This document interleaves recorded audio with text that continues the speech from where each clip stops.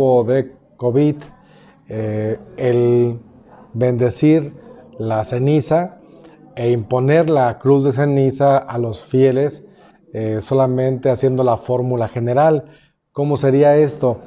Pues dentro de la misa, como siempre, se bendice la, ceniza y al terminar la bendición se hace eh, la, la procesión donde se forman y solamente se hace una vez la fórmula arrepiéntete y cree en el Evangelio. Luego el sacerdote se pone el cubreboca y baja a imponer la ceniza sobre la cabeza de la persona. Esto ya algunos eh, han utilizado esta fórmula de imponer la ceniza eh, y muchos solicitan que se les ponga en la frente. Sin embargo, el, cambio radica en ponérsela sobre la cabeza de la persona.